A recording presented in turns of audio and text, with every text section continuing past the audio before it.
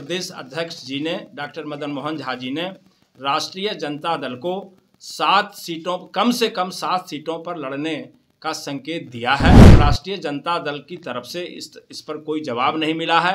अभी तक हम लोगों ने बैठ करके कोई तय तमन्ना नहीं किया है सीट पर। हमारे पास जीतने लायक उम्मीदवार है। ऐसे 10 से 11 सीट पर हमारा बहुत मज़बूत उम्मीदवार है। बिहार में 24 सीटों पर एमएलसी का चुनाव होना है, जिसको लेकर अब एक बार फिर से महागठबंधन में खींचातान शुरू हो गई है। एक तरफ़ जब कांग्रेस कह रही है कि मुझे सात सीटों पर चुनाव लड़ना है, वहीं कहीं ना कहीं अब जो राजद है, वो फिर से मन बना ली है कि उपचुनाव की तरह इस बार फिर से विधान परिषद के चुनाव में कांग्रेस को एक भी सीट नहीं दिया जाए। हालाँकि इसको लेकर कांग्रेस के एमएलसी हैं, समीर सिंह, उनका कहना है कि लालू प्रसाद यादव द्वारा बोला गया था, उन्होंने बयान भी दिया था और हम लोगों से बात करते हुए भी उन्होंने कहा था कि इस बार हम लोग मिलकर चुनाव लड़ेंगे और सात सीट की जो बातें कही जा रही है कि साठ सीट कांग्रेस को दिया जाएगा, कुछ सीट जो है वो चिराग पासवान को देने की भी बात लालू यादव द्वारा कही गई थी, जिसको लेकर समीर सिंह क्या कुछ कह रहे हैं, पहले आप सुने।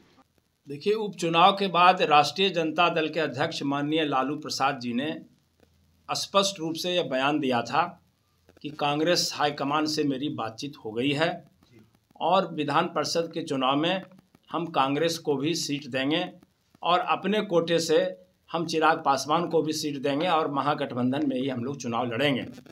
ऐसी परिस्थिति में जब लालू जी का इस तरह का बयान आता है तो फ़िलहाल हमारे प्रदेश अध्यक्ष जी ने डॉक्टर मदन मोहन झा जी ने राष्ट्रीय जनता दल को सात सीटों कम से कम सात सीटों पर लड़ने का संकेत दिया है और अभी तक राष्ट्रीय जनता दल की तरफ़ से इस इस पर कोई जवाब नहीं मिला है।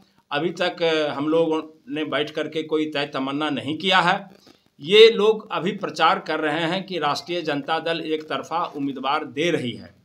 तो हम इस संदर्भ में आपको कहना चाहते हैं कि कोई भी दल अपने संभावित उम्मीदवार को ये संकेत दे सकती है कि जाके तुम चुनावी तैयारी करो। हम लोग भी अपने संभावित उम्मीदवार को जो लड़ने के लायक मज़बूत हैं उसको संकेत दे रहे हैं। उसमें कोई दिक्कत नहीं है। लेकिन जब सीटों का तालमेल हो जाएगा तो उसी सीटों पर हम लोग जो जिसके हिस्से में होगा वहाँ हम लोग नामांकन करेंगे।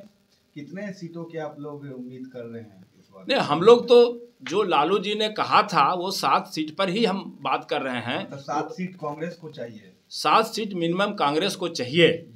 और इससे कम हम लोग नहीं लड़ने की इच्छा रखते हैं, क्योंकि सात सीट पर हमारे पास जीतने लायक उम्मीदवार है। ऐसे दस से ग्यारह सीट पर हमारा बहुत मज़बूत उम्मीदवार है। इसमें कोई संदेह नहीं, लेकिन गठबंधन को कायम रखने के लिए अगर हाईकमान का निर्देश होता है तो वैसी परिस्थिति में हम हाईकमान की भावनाओं के अनुरूप सात सीट पर लड़ने पर भी सहमति बना सकते हैं। राजद का एक कमज़ोर घोड़े को जो है रेस में नहीं लगाया जाता है।